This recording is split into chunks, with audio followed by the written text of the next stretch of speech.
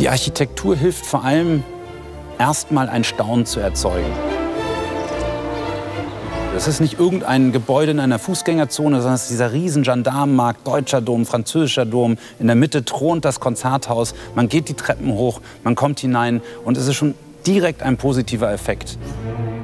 Inside, visitors find a one-of-a-kind neoclassical concert hall, which however is a reconstruction. It was still a major building site in 1980 and remained a ruin into the 70s. Between 1977 and 1984, under real socialism, a neoclassical building in the Prussian tradition was constructed, transforming Schinkel's famous theatre into a concert hall.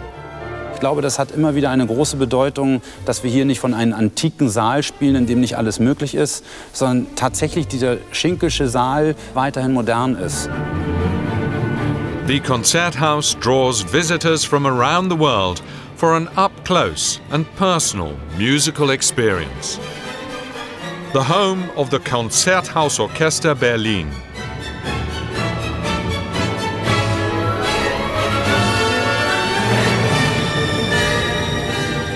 The hall has become a fixture in the heart of the city and resonates far beyond its borders.